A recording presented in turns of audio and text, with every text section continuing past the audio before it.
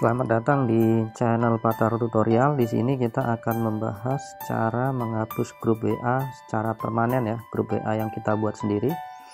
Gimana caranya? Langsung saja klik WhatsApp. Kemudian klik grupnya. Kemudian klik nama grupnya.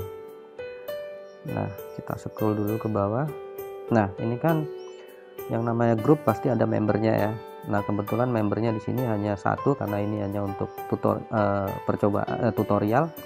Jadi di sini sebelum kita klik ini ya keluar dari grup sebagai kita yang punya grup itu sebaiknya member-membernya kita kick dulu ya atau kita keluarkan dulu sebelum grup ini kita hapus secara permanen. Nah caranya gimana?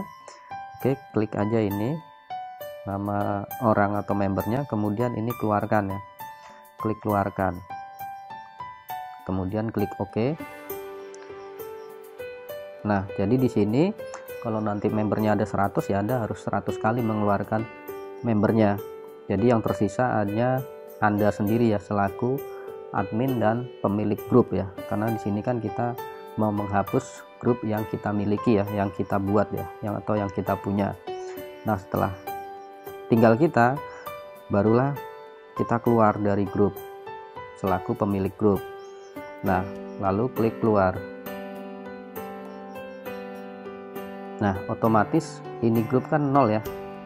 Tidak ada lagi member ataupun admin sama sekali. Nah, sekarang tinggal klik hapus grup.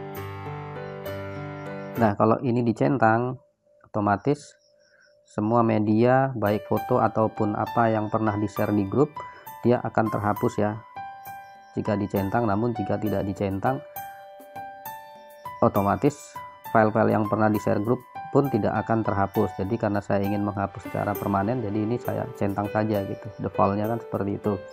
Lalu klik hapus grup nah oke okay, otomatis ini grupnya sudah hilang ya nggak ada ya. Jadi sudah hilang secara permanen dan member-membernya juga sudah tidak ada di grup tersebut. Selamat mencoba Semoga membantu dan bermanfaat. Terima kasih.